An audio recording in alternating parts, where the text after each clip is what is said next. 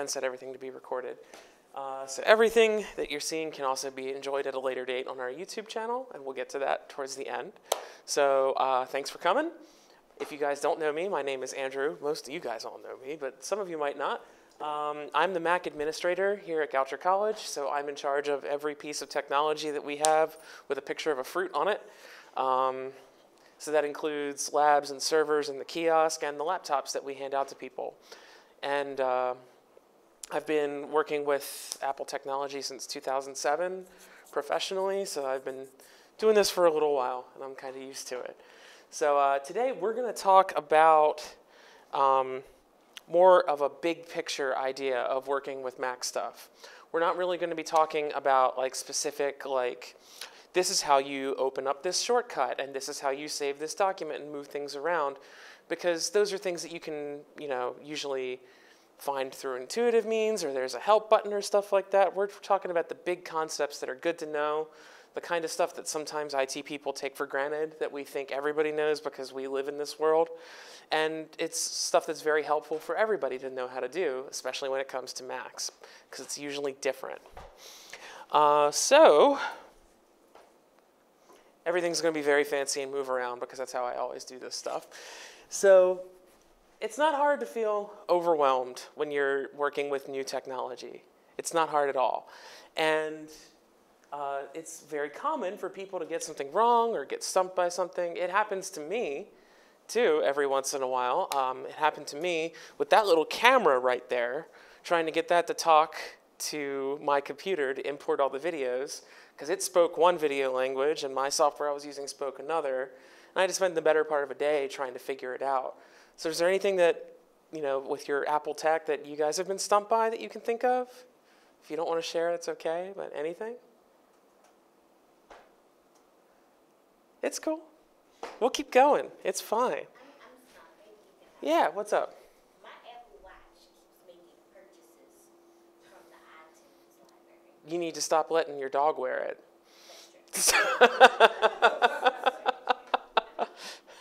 so, well, one thing to, to think about, I, I, this is my, one of my favorite guys in the world. I love Neil deGrasse Tyson. And his little quote about, I love being wrong because that means in that instant I learned something new that day. And that's a great quote because you can sit there and sort of keep bashing your head at the same problem over and over and over again and get frustrated. Or you can look at it as an opportunity to say, okay, I'm going to learn something. The next time I encounter this, it's not going to be an issue. And that's sort of the attitude that we always want to try and take when doing something new. This is not working on my screen here. So we're going to cover a bunch of different things. We're just going to hit a lot of big picture topics. I would ask nicely that if you have a question that does not pertain to these kinds of things that we're talking about, um, just ask me at the end because I got a lot of stuff that I want to cover. And there's 10 million things that anybody could want to ask, and that's fine. But I want to get through all this stuff before we get to any of that. So the first thing that we're going to talk about is what is Mac OS? And also importantly, why should I care? Why does that even matter? We're going to talk about how to update your Mac and why you should do that. And as the guy who can see all the statistics of every Mac on this campus, I know a lot of people aren't doing it. We're going to talk about how to get software for your Mac. There's a couple different ways that you can do that. We're going to talk about how Goucher protects your Mac. And we're also going to answer that question of can I still get a virus, which is a very hazy gray area question for a lot of people. We're going to address the idea of Office being different. And we're going to talk a little bit about how to use a Mac in a classroom, which is what I'm actually doing right now. And then finally, the big one is what is Apple ID and does it work with iCloud? So when we made this list, we sat and thought about what are the things that people ask us the most often about using their Mac at Goucher, and we came up with this. So let's get started. Let's start talking a little bit about the Mac operating system and what that means and what that is. So Mac OS was introduced in 2001 as Mac OS 10 Cheetah. That is uh, a Roman numeral 10. It's not an X. I call it Mac OS X a lot too. But it's the 10th version of Apple's system that they run their computers off of. And everything that we've had since then is just a improvement of it. And they were all named after cats. There was cheetah, puma, jaguar, panther, tiger, leopard, snow leopard, lion, mountain lion. And then we switched to names of places in California like Mavericks, Yosemite, El Capitan, so on and stuff like that. I'm a nerd. I'm a huge nerd for this stuff. Uh, it is a Unix-based operating system, which means that, in plain English, when you use a PC, the system that that runs is Windows. When you use a Mac, the system that that runs is Mac OS. But Mac OS is actually built on technology that's even older and more stable. Unix is an operating system that was developed long time ago in, uh, on huge computers the size of this room for servers and network connectivity. It is very stable, it is very safe, it is very proven. And that's what Apple decided to build the Mac operating system on top of. That was the idea. And not that this matters to a lot of people, but it's certified Unix as of 10.6 Snow Leopard. So that means that, Brandon, what are you doing over there? the wrong way. the honest answer.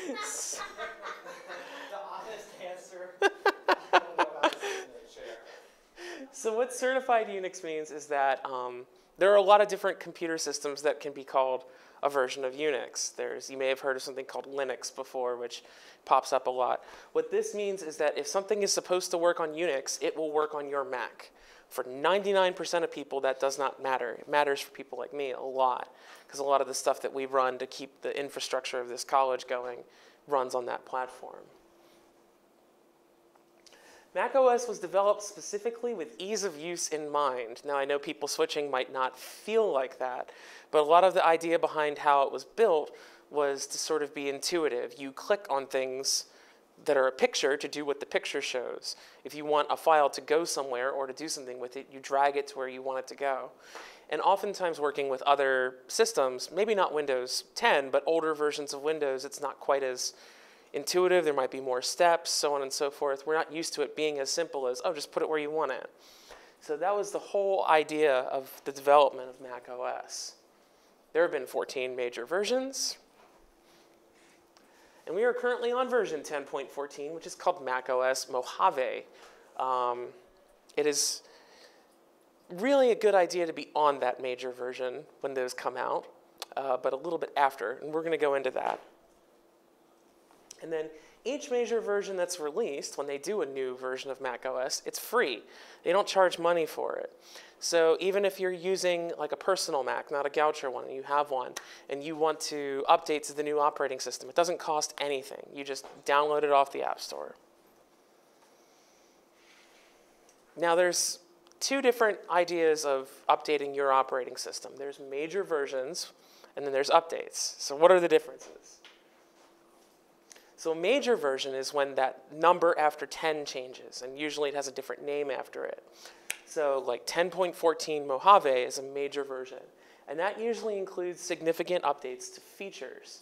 So the kinds of stuff that they add would be things like Apple News, dark mode, Siri, big stuff that's really noticeable. Um, usually when you install one of these, it'll say, let's take a tour of all the new features and new things you can click on and new functions that you can do. Major versions also include significant changes to the system under the hood, so to speak. So, for example, they changed something called the Apple file system. They introduced new security features like Gatekeeper and XProtect. These are not things that a person normally deals with on their computer, but they are important to us because sometimes they can stop software from working or stop functions from working. So, because of that, they can cause incompatibility. So, what that means is when there's a big major version that comes out, we usually stop everybody from installing it for a while um, that's so that we can take the time to make sure that it works with everything like Canvas, that it works with um, Office and programs don't crash on it. Because the last thing we would want is for someone to install something that their Mac said, this is going to make everything better, and then you can't do your job anymore. So to protect everybody from that, you can't update to these major versions right when they come out. You'll actually see an email from the help desk come out that says when they are available. Uh, smaller updates that would be the third number. So like, for example, 10.14.5, which I think just came out, those can sometimes include new features. like Apple Music or the Apple TV app. But usually, what they are is they improve the performance of your computer and patch holes that are found in the security. So they're important to keep yourself safe. Make sure that nobody can access your data or your information. Generally, they don't break anything. That's the idea. When you already are on a major version of Mac OS, you can safely update it to its newest security release without worrying about stuff breaking. It can happen, but it's pretty rare. Come on. So, how can you tell the difference? So, this is a pretty common screen to see. Updates are available. Do you want to restart to install these updates or try tonight? That's okay. That's literally just your Mac saying, hey, there's a new bunch of security updates, there's those kinds of things. That's what I would like to install. If you see that, that's a good thing. You want to do that. But this one, whenever you see one a little bit more fancy that says upgrade to a new Mac OS with a name, that's the one that I would not recommend doing. In fact, on a Goucher computer, you can't do it right away. If you were to try when the blocks are in effect, you'd actually get a message that says, you know, the system administrator will be notified that you tried to install this, and so it doesn't really matter. But that's the difference between the two. If your Mac is telling you updates, it is a good idea to do them. If it says there's a new version available, I would wait a little bit and make sure that everything you want to do on your computer works with it. What's up?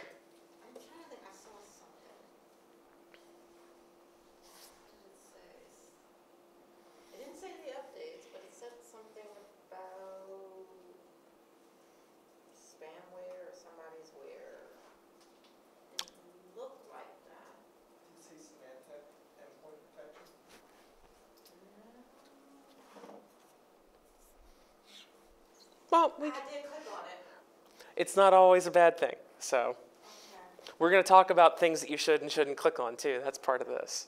We're going to get there. Um, so just a little bit more about updates, kind of reiterating what I said before. OS updates contain important fixes that protect you and your data, and they protect the college as a whole. So it's a good idea to do them. We don't want anybody accessing stuff they aren't supposed to. We do push out these updates to everybody's Goucher Mac automatically, but sometimes the timing on them is a little bit off. Sometimes your computer might talk to Apple before my systems get to your computer. So it's okay to install those updates yourself too. So if you won't do them, my system will do them for you automatically. And the way that you would do them yourself, if you wanted to, is you just go to the App Store, just like you would on an iPhone or an iPad. You go to the App Store, and there's a section for updates, and it'll show you all the things that you can update. And if you're not in the practice of doing that, it's not a bad idea to update all your stuff every once in a while. And it's all in one place, and it's all safe as long as you're doing it through the App Store. So. And they don't usually break anything. Every once in a while, stuff can break. Not always something that we can do about that, but same kinds of things. So when we have the major versions, so whatever the new one that's coming out is after Mojave, I guess they'll name it after another desert or something.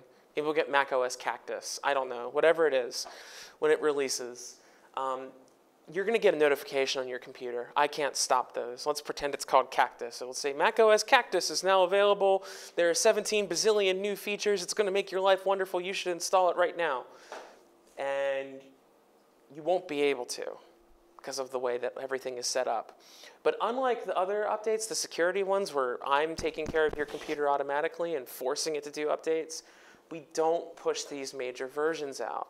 So if you haven't upgraded in the last year to macOS Mojave, and you would probably notice, because your Mac is probably yelling at you to do it if you haven't, um, that's something that you have to do yourself. And you just click on, yes, it's okay to update and wait about, make sure you have about 45 minutes of free time that you don't need to do anything on your computer, and you're good to go. So if you update Mojave, will it update all the other things that haven't been updated? So when you update to Mojave, then you're going to have to do the more updates to Mojave after that installation, but it'll also update everything else that's behind at the same time. Okay. So But it'll tell you. it'll, t- it'll give you a list, yeah. just did it, so I I wonder, what, do I have to go to, um, So do I have to go to uh, Apple Store and You- see if there's anything else? you could go to the App Store and see if there's something else. Chances are also good that my systems that I have have probably said, hey, she needs updates and push them to your computer I too. have a, wow. Okay, gotcha. So, yeah. And then that last presentation, the last item there, blocked until IT is certified that everything works. That's what we try to do. So, Just a quick question. Yeah. What if you have your own and you just want to bring it in and have you look at it? Can you do that? Ha- To see if it's all like updated and stuff? Have have one of us look at it. Um, just with the amount of yeah, it's not yeah. So it's we we've got a lot of stuff to we got 458 Macs to take care of that belong to the college, so not a lot of time. Uh, so now we're going to talk a little bit about software. So before we move on, does anybody have questions about updates or new versions? Yes, Judy. Sorry, question. I just, I don't know if I um, heard you say when those new versions come out, because they usually come out out around That's true. The new major versions of Mac OS, I missed that. I forgot that one. They come out around the same time every year, which is like right around right around commencement actually is usually when they get released, which is a really bad time to upgrade your Mac to a new operating system here at Goucher. So typically at the beginning of summer every year, you'll get emails from Apple and notifications that a new version has come and typically here at Goucher, we don't certify them for our computers for another like three to four months after that, just for time to make sure that everything works.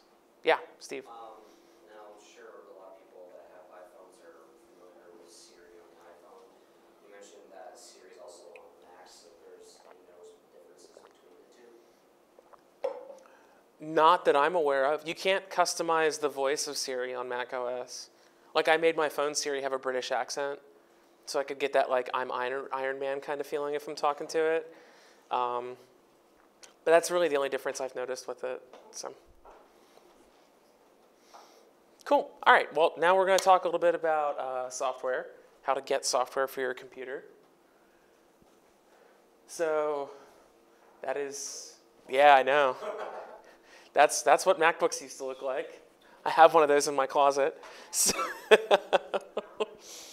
how old is that? is uh, probably a 2003 model from when uh, when the blue and white iMacs, when the, there were all those Jeff Goldblum ads on TV about connecting to the internet with your iMac. That's that's the model then.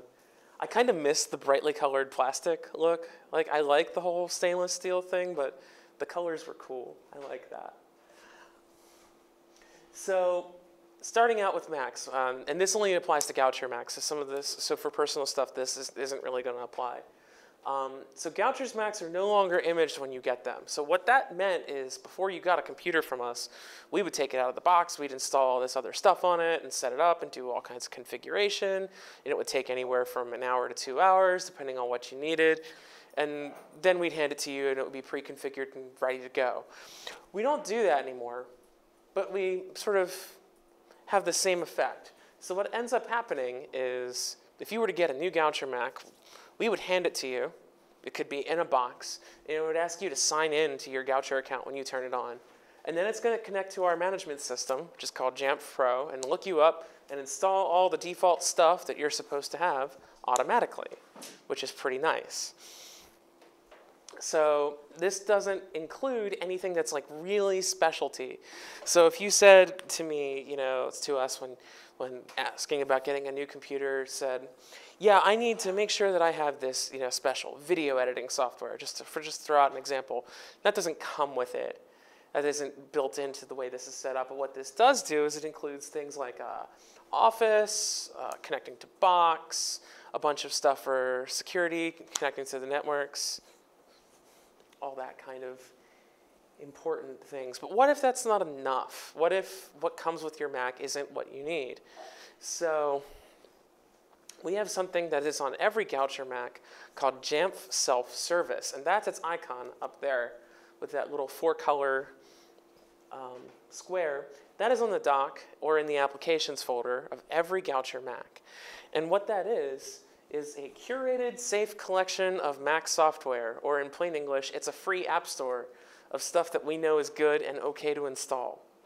So, what we have done is we have taken the time to go through and build this little custom app store that has things like certain printers on it. It has certain versions of software like the Box Drive client.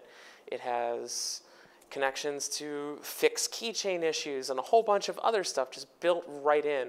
And all you have to do is go to self-service and click the little install button next to what you want and it installs it, it puts the license on your computer, it does everything for you automatically. Tried to make it really, really seamless. Um, this is a really, really helpful thing because it means you can install stuff without asking one of us to come visit you and go to your computer. Uh, we are, and in our interactions with people, we've learned that not a lot of people know this exists. So we're just wanted to let everybody know that it's there. If there's something that's missing from your computer and you want it, check Jamf Self Service, check if it's there. Steve, you look like you have a question. It's just making a surprise face. So, yeah, the icon is this four color square. Sometimes if you click on it, it changes to a Goucher gopher. I tried to make it a Goucher gopher all the time, but it keeps switching back to the square. So, we'll figure it out at some point. But that's the, the least important thing. The other thing that's really nice is that when you download something from self-service, it downloads directly from Goucher servers, which tends to be a lot faster than connecting to the internet to download it. So for example, one of the things that's on there is our license of uh, Adobe CS6, Creative Suite 6, an older version, but that's what we have a license for for everybody on the campus. And it's really big, so downloading it through self-service is actually a lot faster than it would be if you were to try and download it from Adobe's website. And if you think something's missing, if you're on self-service and you think, I wish that was there, then send us an email at the help desk and we'll work on getting it there. It doesn't take a lot of time for us to build stuff into there, so. The other option that you have is you could download something yourself and install it with admin rights. So uh, if you have a Goucher laptop, you do have admin rights on it as of right now. And if you are um, on your personal computer, you definitely have admin rights because nobody else has any control over it but you. But you need to be a little bit careful about that.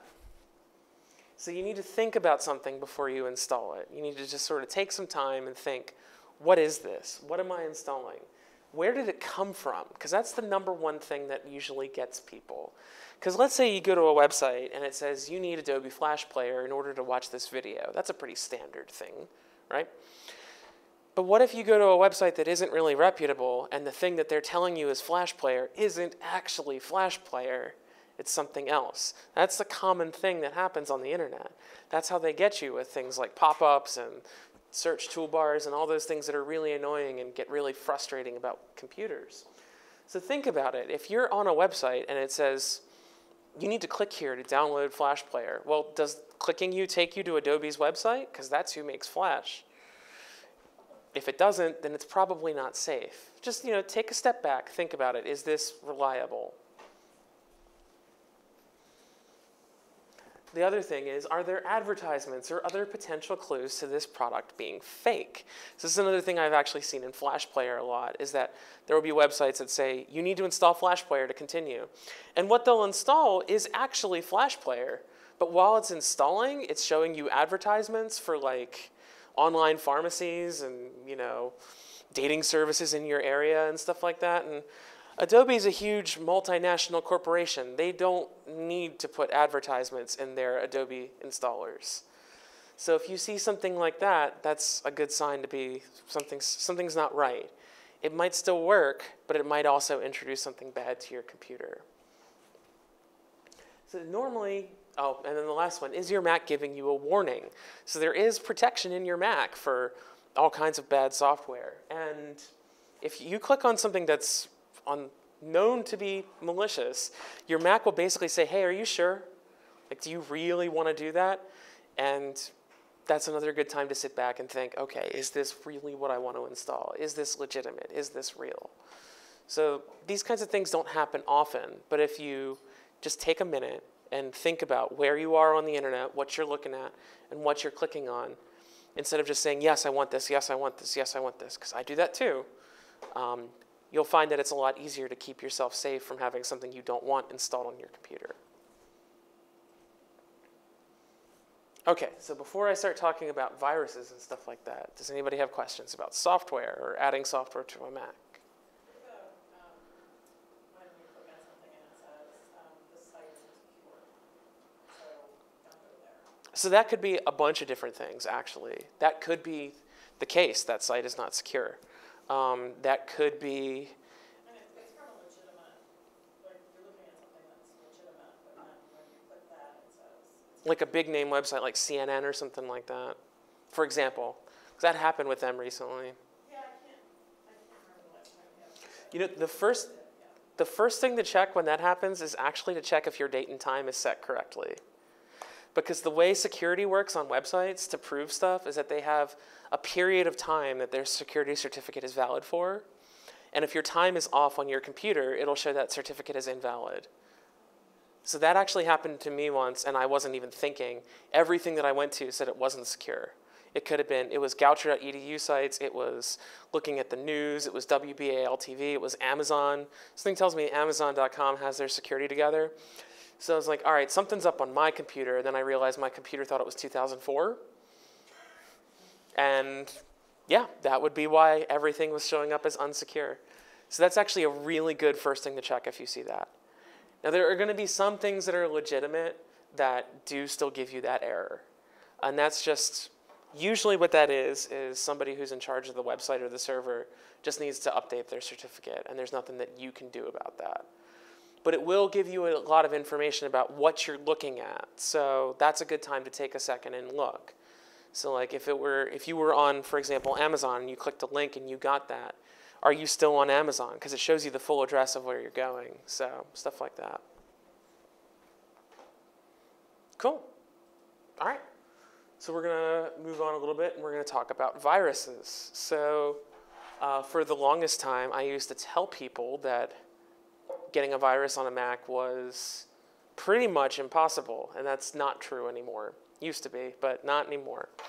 But it is still pretty rare. So let's talk a little bit about how we protect Macs from that kind of stuff. Because we can protect you from a lot, but not 100% of everything. So there is something installed on every Mac by default called XProtect. And XProtect is Mac's, This is not just Goucher. this is every Mac, yes. So it comes with it. Um, and XProtect is Mac OS's built-in virus protection. And its job is to do what normal virus scanners do on other computers. The difference is XProtect is almost completely invisible. It doesn't tell you that it's there.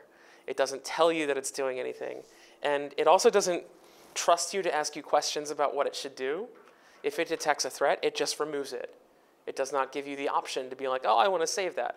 Now it's not going to like start deleting files or anything like that, but it's going to stop most problems before they become serious.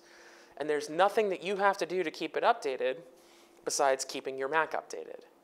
And that's all you have to do. So there are, um, it's built in, it updates with the OS, it's mostly invisible. Uh, so the other thing about that is that an important thing of having a virus protection program on a computer is the definitions, what it's supposed to be looking for.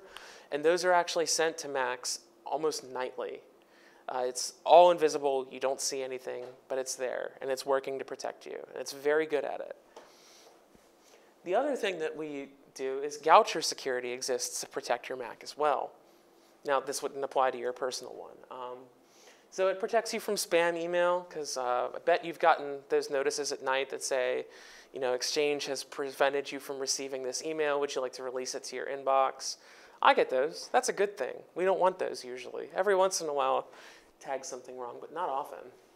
And then it protects you from known bad links. So I was trying to look at um, something to get some open source weird program running, and I clicked on it, and I got a Goucher security warning that said this this is a you know suspected malicious site. You can't go here. And I said, oh well, I guess I'm not looking at this anymore. And that just means that at some point our security systems have determined that that is something that you just should not be on on a computer here on campus. So now we're doing a lot. You know, we have XProtect, we have security set up in the management system, we have security on the networks. We're doing a lot to protect you, but it's not 100% foolproof. We can't make it 100% foolproof. So there's some stuff that everybody needs to look out for and everybody needs to be mindful of, and that includes us Mac users too. So the big one is threats that pretend to be legitimate, like I was talking about with like that Adobe Flash Player example. We can't protect you from phishing attempts. We try, we do everything that we can. But we can't make it so that if somebody sends you an email that says, you got to click here and put your password in because we need it, we can't always stop what other people outside of the college are doing. So you need to be mindful when you receive emails. Is this really from Goucher? Is this really from somebody? Is this really a place that I should be putting my information in? And usually, if you look, you can spot clues. Like uh, an example phishing email that went out was uh, one that looked like it was. It told people they had a package from FedEx, but they needed their name and social security number and credit card number in order to claim their package. And number one, that's just fishy on its own, right? But that email also had like a very fake looking FedEx logo. It didn't look right. It had words spelled wrong in the email. And if you looked at the address of where it came from, it came from something in Germany that was not FedEx.com. So, but that still tricks people because we're going fast. We're so busy, we don't stop to look, we don't stop to think about what we're looking at. So just take a second, think is this real? Is this something that I should be doing? Every once in a while, um, we, send, we send little fun little phishing tests out to people in the campus. And it's a, it's a, it's, it's a good time. So it's a good time.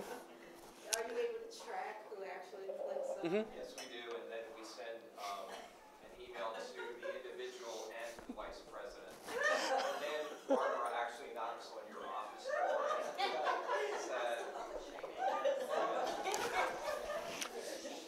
But it's important, right? It's real. It's real. Think of it like a fire drill. That's what it really is. It's that same idea. You want to be prepared because we can't. We don't know when it's going to happen for real, and we have no control over it. So it's really good to be mindful about that kind of stuff and always be vigilant. So, and that applies to personal computers too, like not just Goucher stuff. I have some, something else, some, something installed that I run once in a while. I can't remember the name of it right now, but, um, I have moved up once in the last year. I had something that had to be cleaned. It happens. Yeah, it definitely.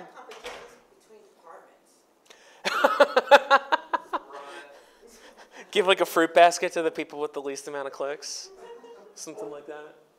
Um, so another thing that to keep an eye out for is um, is malware. Now this isn't like really a virus, but what it is is it's a program that doesn't necessarily do 100% of what it says it does. And the two really popular ones that I see popping up a lot are CleanMyMac and MacKeeper. And these look really good, right? They look like they scan your system for threats. They look like they're supposed to help you keep unwanted files off of your Mac. But what um, I can only really speak for MacKeeper because I took a deep look into it once. But what MacKeeper really does is it slows down your computer and then tells you that you should spend $30 to buy the full version to make your computer run better.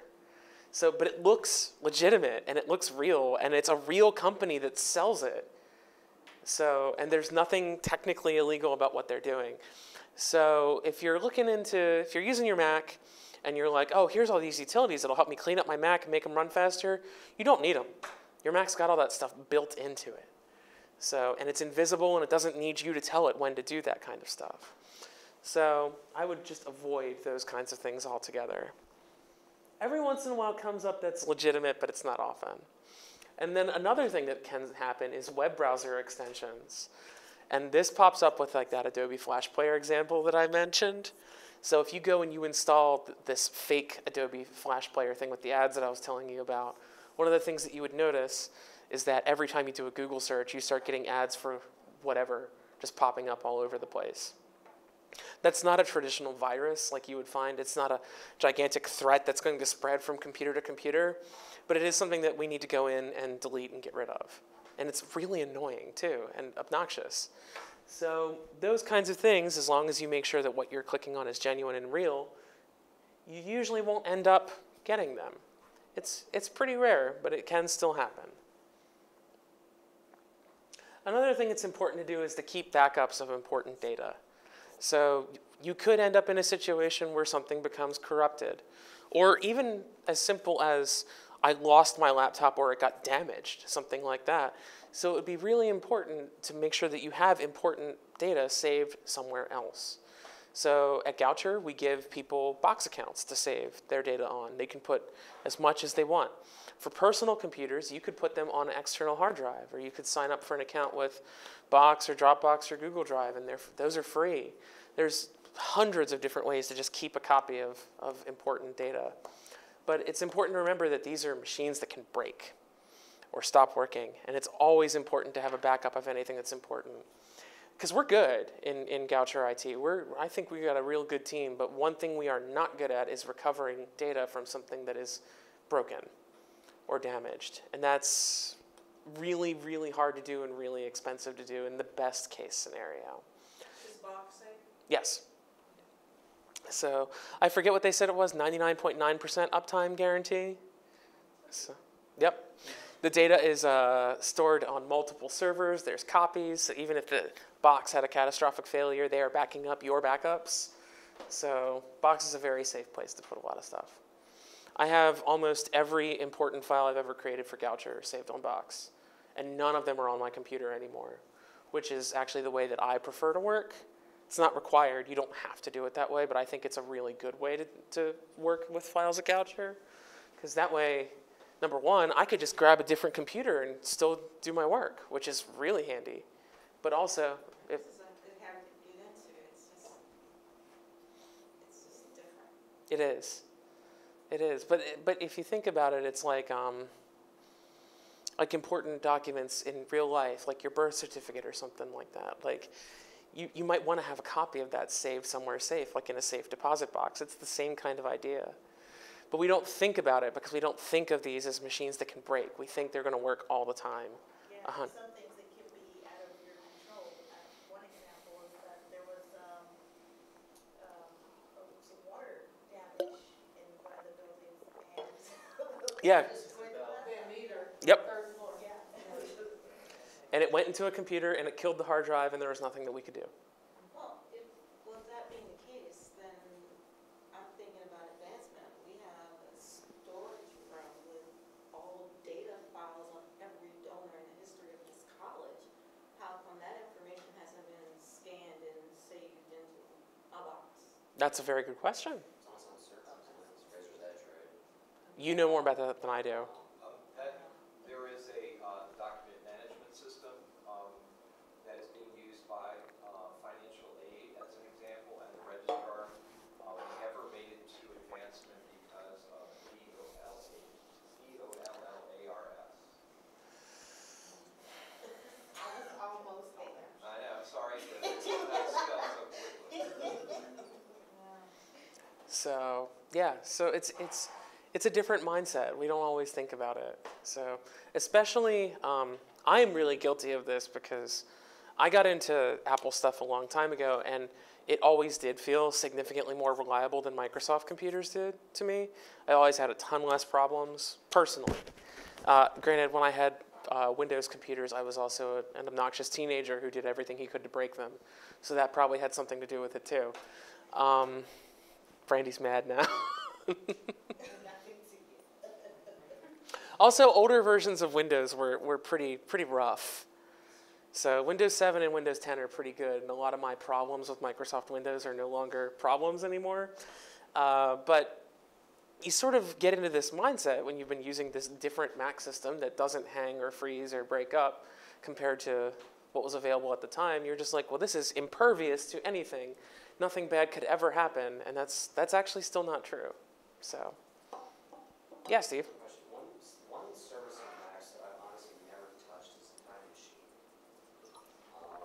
Time Machine is awesome. Time Machine is the best personal backup system that exists, and it's free. Um, now, I wouldn't, because for Goucher important stuff, I would use Box. But for personal information on a personal computer, if you were to buy an external hard drive, just any external hard drive from any store, and plug it into your Mac, it would say, oh, hey, this is a new hard drive. Do you want to use this with Time Machine? If you say yes, it will back up the entire contents of your computer to that hard drive. And then the next time you plug it in, it will back up everything that's changed, and so on and so on and so forth. Over time, what it'll do is it'll start eliminating old versions of files. So, like, if you had like a Word document, it might have 17 versions of that Word document if you've made that many changes. And it'll start getting rid of the older versions to save space. But it is the simplest backup solution I've ever come across. Um, it's pretty much designed for people who wouldn't want to think about how do I back stuff up. Makes it automated. Now, the, the other thing to remember, to be a nitpicky IT person about all this, is that you're backing up information to an external hard drive, which can also fail at some point. But we are trained to think in worst case scenarios. Brandy's laughing because that happened to us. yes, that you want to use it as a time machine, then it's only a time machine? Yes, Yep. yes. You can't use that drive for anything else. So, so put a put a sticky note on it saying this is my time machine drive. You know, storage prices have dropped so much in the last couple of years that it's really not that expensive. For a one big enough to back up a Mac laptop, seventy to eighty bucks tops. So.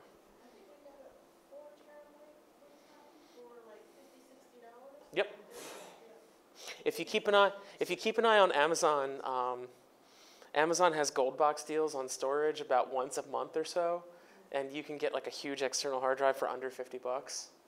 So, which is pretty nice. So yeah, it can't hurt to just keep a copy of your personal data so that nothing happens to it. All right. I don't know if uh, that one should be pretty self-explanatory. Don't give your password to anyone. Um, nine times out of ten, nobody will ask you for your password here at Goucher. It's exceedingly rare that we will need your password for anything. We would much rather have you enter it in than ever know what your password is, just for safety reasons. So if you get an email that says, "Hey, I need your password in order to, you know, make everything work with your time card," nope, that's not real. but that's also true of most services for personal stuff. Like, I saw a bunch of people get caught by a, a Gmail scam that said they they got an email saying this is so and so from Gmail support, which number one doesn't exist. Gmail support is almost all automated. I need your Gmail password in order to improve your service, and people were doing it, and then suddenly they were sending emails to all their friends about their new online pharmacy. So, so do we have any more security questions before I keep going on? Nope. Cool. Brandon's laughing at all my little subtitles. so, uh, a question that we get a lot is about Microsoft Office for Mac, and is it different, and what does it do that's different, and how does it function? And uh, actually, recently, the the feature parity between versions got a lot closer than it did, has in a long time. But some things are not included, like Publisher. There is no Publisher for Mac. It does not exist. Uh, it has not existed since about 2004, and that version will not run on a modern Mac. So if you want to do stuff like you would do in Microsoft Publisher, you can do it in Word. There's a, a mode in Word where for Mac where it's page layout mode, and it lets you put stuff in text boxes and move them around and make it all pretty, and that's what I would recommend doing. Microsoft Access also does not exist for Mac. Uh, that's a database program. I have never been good at using it. I have never encountered a need to use it in my personal life, but there are a lot of people who really like Microsoft Access and want to use it. It does not exist for the Mac. And then uh, Microsoft Visio and Project. And the reason I know about those is because my dad bought a MacBook and then he called me and he said, Andrew, where's Visio and Project? And I went, what are those? So, but those are not included either. So uh, some niche features are missing or might work a little bit differently. Like Excel charts, you can still make charts in Excel, but the process of making them is slightly different, but it works the same way. And then pivot tables, that's some sort of arcane sorcery that I will never understand. But people like to ask me about pivot tables all the time. And I know that the interface for working with them in Excel is completely different to how it is on PC. I don't even really know what a pivot table is. I just know it's different on Macs. So I'm not a spreadsheet guy. I studied music. I count to four. Come on. Sometimes seven if I'm feeling jazzy. So, so another thing that is a little bit different is uh, word macros, like those those. The Word macros got famous for being a way to spread viruses, but also people were using them as a way to sort of like automate functions. They're just not even in the Mac version.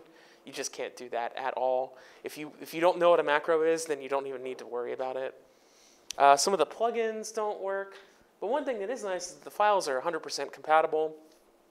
every once in a while there can be mild um, formatting errors. Like when I send something to Judy, sometimes it'll look a little goofy um, when she looks at it on her PC. But it's it's not too bad. It's pretty pretty darn close. And for most people's usage, there will be no missing features. Now, if you're somebody who's could teach a class on how to use Excel or something like that, then yeah, you might be missing some stuff that you would be used to or want to have. But for most people using Mac Office, there's not anything that's missing that they need to have. Another question that I get, and one that was actually emailed to us before this presentation, is what about iWork? You might have seen this before. Um, Apple makes their own version of Office. It's called iWork, and it's Pages, which is like Word, Numbers, which is like Excel, and then the middle one is Keynote. And you can use them if you want to. They're free. They come with your Mac. There's there's a couple of catches though. Is that the files they make aren't compatible with PC software unless you specifically go to File and choose Save As and choose to save it as a Word document, an Excel spreadsheet, or a numbers uh, or a, a PowerPoint presentation. So there's that extra step involved. You can use them, they're free. I like them. This presentation is actually made in Keynote instead of PowerPoint, which is why it looks so good. But um, I'm kidding. But uh, some of this stuff gets a little wonky when you convert formats too. So for example, I wanted the rest of my department to see what this presentation looked like. So I sent it to them as a PowerPoint file. I made it in Keynote, I went to File and chose Save As and chose Save as PowerPoint and sent it to them, and it was real janky. It looked really messed up in Microsoft PowerPoint on a PC. I'm sorry, can you go back? Yeah. Said when you work in Keynote, hmm you have to save as? So my right. So I made this presentation in Keynote specifically because I don't have to share it with anybody. I knew that I was going to make it on my Mac. I was going to plug my Mac in here and present it. And I like the way that Keynote does like animations and design and stuff like that. And it's my preferred method of doing it. Uh, if I, when I sent it to everybody on my team, because not everybody on my team is a Mac user, I went to File and I chose Save as PowerPoint to make a copy of it that was a PowerPoint file. But it didn't come out exactly right, and that's the problem that you get with these. So I would say for collaborative Goucher work, stick with Microsoft Office. But if it's something like on a personal computer, it doesn't matter. Um, if it's something that I'm not sending to anybody, like like this presentation was just to give here, then Save it as normal. yeah, doesn't matter. So would you use iWork for, um, well, you just said for animation and design, you use Keynote. I, used it for this presentation. Yep, uh, because I like the way that it works better than PowerPoint. All right, I just want to explore it. Go ahead. Yeah, it's good stuff. Like I think it's um, Yep, and they are they're free from the App Store, which is really cool. So, another thing that's interesting is if you are a iPad or iPhone user, that they have free versions on those too, which is also nice. Now, granted, so does Microsoft Office, so you know six of one, half dozen of the other. So, I'm actually using the Keynote Remote app on my phone to control this presentation, which is kind of nice. It shows me what the next slide is and all that stuff. If I want to be really fancy, I could tap my watch, but sometimes the connection doesn't always work with that. So I think out of the three of them, I don't use Pages very much. the one right below Keynote? These are the same. So this is different icon. So this is what it looks like on an iPad, and this is what it looks like on a Mac. So uh, I don't use Pages for much of anything. I just type up a document in Word, and I don't use numbers because I don't make spreadsheets forever. But I do use Keynote because I really like the way that it does presentations. And I like the, the mobile phone connection. Now, Steve, I think that you can probably control, Steve would know this because he's our office expert pretty much. But I think that you can do the same thing in PowerPoint, I haven't done that yet, but probably. yeah, I feel like it would be a giant mistake if it wasn't there. yeah. Okay, so real quick thing to remember is about using a Mac in a classroom, which is what I'm doing right here. So what you want to do, this is just a common question that we get, is people will hook up. Now, obviously, I'm not talking about if there is a problem with the way the podium is set up. Let's just say that everything is connected and turned on the right way. How do I get my Mac to talk to this projector? What you want to do is you want to mirror your display in system preferences. You go to system preferences, choose displays, and you get this window. Uh, it is this color because the screenshot that we took was in dark mode, but it might not always be this dark black. But you want to make sure that you check this little mirror displays button, and then whatever is on your screen is what's on this screen too. And that's the best way to give a presentation to people. You can also use the shortcut Command plus F1. It does the exact same thing as going to that menu and checking that box. It's a really nice, quick way to make sure that whatever you're displaying on your screen on your laptop is what's on the screen in your classroom. That, that stumps so many people, Mm-hmm. so many people. But do you have to do that every time, or is it? Nope. Yeah, because usually automatically it would connect. Yeah, it's one of those things where, like, if you hook it up to a projector and you're not getting what you expect, do that Command F1, and you should be good to go. Do you have another question? Yeah, I do. What's up? So, or I'd like to avoid ever having to do that, so are we gonna use some of those, uh, some of these computers in the rooms? That is that's a question above my pay grade. So the strategy is to not have um, workstations in the room. Why? Because you know what you have on your laptop. And, um, Yeah, but I don't have a Goucher laptop. Right, uh, But that's the strategy because you, I, when I walk in, I know exactly what's right here. Um, And I can, pre- and, and I can be better prepared when I come.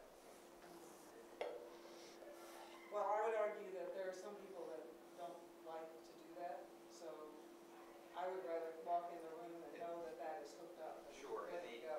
the other reason is back to the same thing I said before, which was DOLLARS. So again, we don't, we don't have to, um, continue to maintain that, uh, workstation. But, but I hear where you're coming from, it's just Yeah. saying, the, the I mean, I'm not strategies. the only one, I I know. understand, I understand. Okay, so now we're going to uh, talk about something that has been confusing people that I've talked to about Mac stuff since 2007, which is Apple ID, iCloud, and keeping it all together. And this is a question that I got when iCloud was first introduced and I worked for Apple that I got at least three times a day. This is a question that I get multiple times a day here. This is probably one of the most confusing things about working with Apple stuff, so we're just going to try to make it as clear as possible all at once. So the first thing is what is an Apple ID? An Apple ID is just your username and account with Apple services. That's all it is. Apple has to have a cute name for everything. So they can't just call it your user account, it's your Apple ID. You would use that to sign into, oh, I'm going out of order here. Uh, Apple IDs cannot be controlled, managed, or reset by Goucher. So you got to do it yourself because we don't have any control over Apple systems. It's not your Goucher ID, it's on their servers. So if you are having issues signing into an Apple system, you just got to remember to go to iforgot.apple.com because everything at Apple is i something. So iforgot.apple.com will take you to a website where you can go and reset your Apple ID.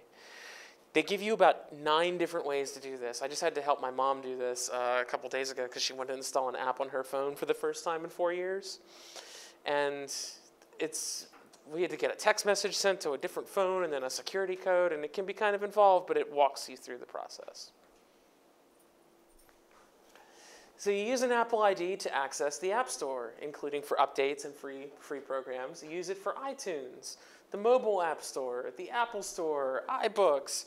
Pretty much, if you are going and connecting to a service that Apple provides, you are using your Apple ID to sign into it. And you can use the same one for all of them. So you don't have to have one for iTunes and one for the App Store and one for the Mac App Store. You can just have the same one. Apple IDs are 100% free to create, but 99% of the time you're using them to spend money. So that's what most of, that's what they pretty much exist for is to log into stuff. It is not uncommon for an Apple ID to ask you to update your payment information, even if you don't buy anything. Sometimes it'll ask you, "Hey, your your credit card's expired. You need to put a new one in here." It's not that you're actively buying something at that moment. They just want to make it real easy for you to buy something. Yes. Yeah, ju- um, because I've seen that before, even with free apps, I, as I understand it, is that you're, it's processing a payment of zero dollars. That is correct, yes. So if you buy a free app, if you get a free app off the App Store, it is it is technically selling it to you for zero dollars in their system. So, so we know what Apple IDs are. So what is iCloud? Because they're not really the same thing, except for that few times that they actually are. So iCloud is was introduced a while ago as a paid service called .Mac or MobileMe, and uh, Brian and I, as the Apple retail alumni, know how fun it was to try and convince people that they needed this and they should buy it. So the idea of it is that it was planned as like Microsoft Exchange for the rest of us. So it was set up to make it so that you could sync information between multiple computers and devices really easy. Well, everybody in this room is a Goucher employee. Everybody in this room has a real Exchange account. And therefore, we don't really need to worry about Apple iCloud for personal use. That's just an opinion, though. Uh, iCloud is no longer something that you have to pay for just to get access to. You used to have to pay to even get in the door. Now you get an iCloud account and it's free. The problem is, is that the amount of storage space that they give you on your iCloud account is not really enough to be super useful until you start paying for it. It has gotten a lot cheaper. They sell, I forget exactly what they ch- charge, but they sell it in like, I think 500 gigabyte chunks now, which is enormous. Ninety-nine cents a month. Yeah. So I don't have one uh, at this point. I- I just didn't think it was necessary, but we'll talk about all the things that it does. So um, iCloud was designed to allow easy sync of information between Macs and iPhones. That was its original purpose. So if you added a contact in your phone, it would be in your address book on your Mac, and so on and so forth. But like I mentioned, Excel, or Excel, Exchange, Office 365 is already doing that for our Goucher's information. It was later expanded to include iPads, Microsoft Windows, iPods, and now even Android devices. So if you have something that counts as a computer, you can connect it to iCloud. So it has, these are the things that it does. So, and there's a lot, right? Please ignore my 4,000 unread messages. I don't actually use that email for anything. It's become a junk mail. Brian's judging me so hard. you should see my Gmail. It's at like 17,000. Um, so yes, there are mail, contacts, calendar. That's straightforward, right? They give you an email address, and you have mail, contacts, and calendar attached to it. Then there's photos. So if you turn that on, what that means is if I were to take a picture with my phone, it would keep a, oh no, I touched the screen. There we go. If I would uh, take a picture on my phone, it would automatically upload it to iCloud, so there's a copy of it. I think there are better free solutions to that out there, uh, but that's an option for you if you want to do that. There's iCloud Drive, which works like Box or Dropbox or OneDrive, but you know you have a free Box account with Goucher. You don't necessarily need to use that. Do I need to get out of here? Yeah, there's class two. Okay, so I'm going to get through these last things real quick. Um, so really, the idea here is rather than going into what all 100% of the features are, iCloud works best for personal data synced between multiple devices. I wouldn't worry about using it with the Goucher equipment at all. I don't think there's a reason to. All of the functions that it does are also already being done by our Office 365 accounts. For personal data, if you think it's really important to have your personal stuff synced between an iPhone and a personal Mac, then I could see maybe worrying about iCloud, but I have nothing of any importance there. I could delete my iCloud account and I would be fine.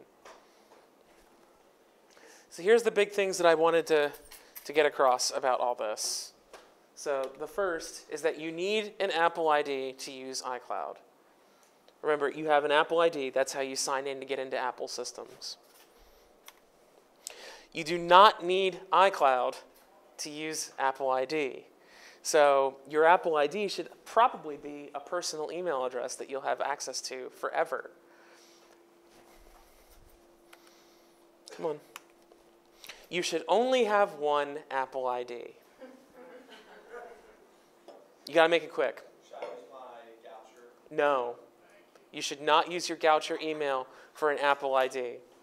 You should use a personal email address. Here's why Goucher does not distribute software that's attached to an Apple ID. The only stuff that would ever be attached to an Apple ID is something you personally bought. If you decide that you would no longer like to work at Goucher, you no longer have access to that Apple ID. So your Apple ID should always be a personal, non Goucher email address. If you have multiples, you can contact Apple support and they will help you merge them together into one. You got to talk to them on the phone for that one. You can't just send them an email or anything like that. Um, Apple support is in Austin, Texas, so it, there's not like a language barrier like some tech support calls. So I would recommend doing that if you have not. And then the last big point is that an iCloud ID could be used as an Apple ID, but you probably shouldn't. It should be a personal email address. It should be, like we talked about, a Gmail, a Yahoo, Comcast, whatever, something that you're going to have access to forever. Because what if you're like me and decide, I'm not using this iCloud account, I'm going to cancel it? Well, then suddenly I can't get to my Apple ID. How am I going to play Angry Birds 2 without buying it again? Like, that's a serious problem. I